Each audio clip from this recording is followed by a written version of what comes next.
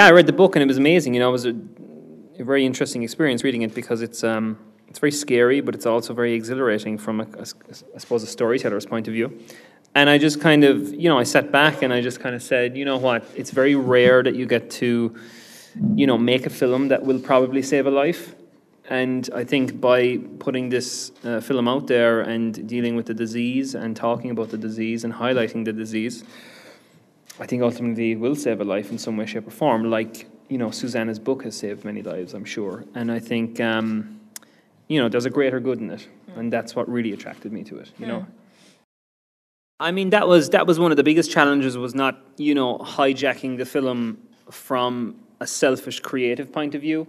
I mean, there is without doubt scope here for a director to come in and let's go into the brain, let's go behind the eyes, let's have it all POV and whatever. But I think for me, the, the story is just too important and the disease is too important and everything around it is too important and the themes are too important to hijack that with a style that would be distracting, you know?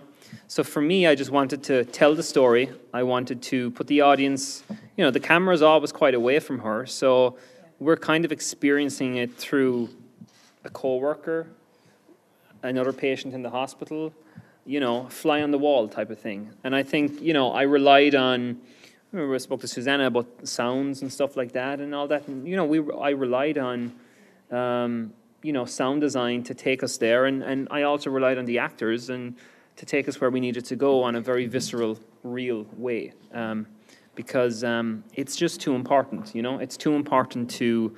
Um, and look, whether people will like that or not, that was, the, that, that was a decision I made because, you know, the most important thing here is Susannah's story and how that is going to impact people.